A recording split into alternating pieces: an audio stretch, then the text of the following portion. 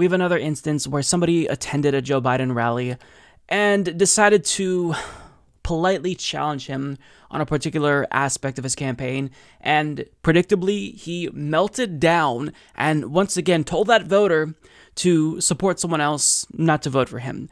And this really goes to show you that Joe Biden doesn't have the temperament to take on Donald Trump or become the president. And it also shows you that he melts down under the most minimal amount of scrutiny, that in the general against Donald Trump, he would unquestionably not be able to hold his own. Take a look. We're going to support you if you win the nomination because we got to get rid of Trump. But what are we going to do about climate change? Now, you say you say you're against pipelines, but then you want to replace these gas lines. That's not going to work. We can't. No, no. We, we got to stop building and replacing pipelines. You got to go vote for somebody else. All right. Thanks so much, sir. Guys, we're going to have you. Thank you so much. Thank you so much. I'm going to vote you in the general if you treat yeah, me right. I know. Well, no, I'm not. Well, can I have, can I have Look, a picture? You're asking a picture of me. You're coming up and telling me you don't support me. No, no, My no. plan. Yeah, you did. You said you I said I will support you in the general. In the general. I'm looking Right. for a primary. We're happy to get a number. We can follow up. That's what I'm looking for, okay? Just because Now, we're trying to get. You believe that Bernie can do something and by 2030? I'm actually supporting Tom Steyer. Thompson, well, that's good. He's the guy that did Thanks so much, sir. We have a long line right He here. made- he got a long coal than the entire country did. All right. Thank So, you. you got the right Can we get a guy. picture? So my favorite part was at the end when um, that guy asked if he can get a picture. I mean, how awkward.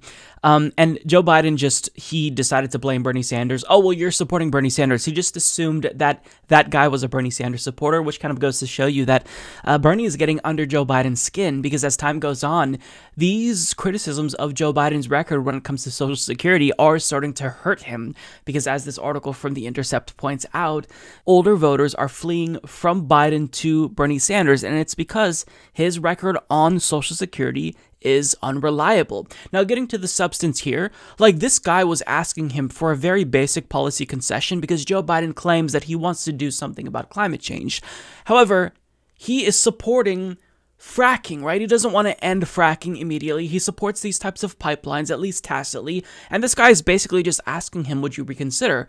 And Joe Biden won't even engage with him in good faith. He just says, well, go vote for someone else or something like that.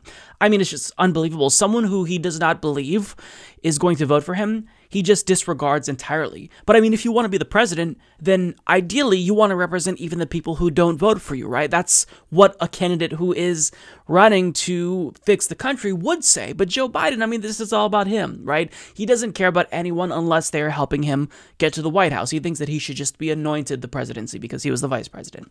Um, Um, no, it's not going to work that way. It's not going to work that way. And if you actually want to win this primary, you have to prove to us that you're capable of speaking to the issues that affect us and also that you can take on Donald Trump. But imagine, I mean, Joe Biden melted down when somebody at one of his town halls asked him about Hunter Biden. Trump will beat him over the head with this. And we're already seeing that he can't stand up to even the slightest, most polite amount of criticism. So, in the event Donald Trump actually brings up Hunter Biden or criticizes him. How is Joe Biden going to respond? He's going to melt down and lose it.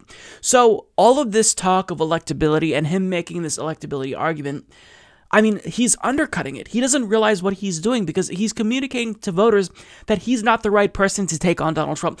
Somebody who is going to go up against Donald Trump has got to demonstrate that they have thick skin right? They've got to demonstrate that they don't care about these attacks. They're just going to let them roll off of their shoulders, but Joe Biden can't handle it.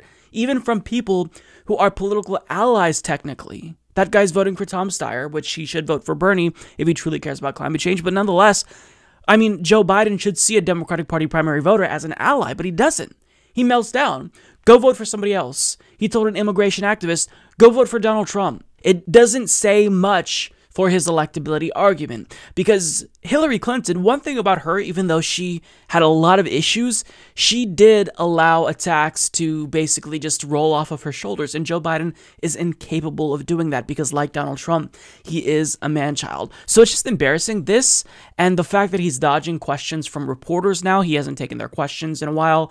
Um, the fact that a CBS reporter um, was ambushed by him with his wah wah wah wah. wah. I mean, it's just this is weird. He's genuinely unhinged, and he is communicating to all of us that he doesn't have the temperament needed to become president and take on Donald Trump. So I hope that voters are watching and I hope that Biden supporters acknowledge that if they truly are committed to choosing someone who can defeat Donald Trump, Joe Biden isn't that person. It's Bernie Sanders. Because how many times have you seen Bernie Sanders lose it on a reporter? Zero times. It's because Bernie Sanders acts like an adult and he can take criticism. He's been taking criticism all throughout these years.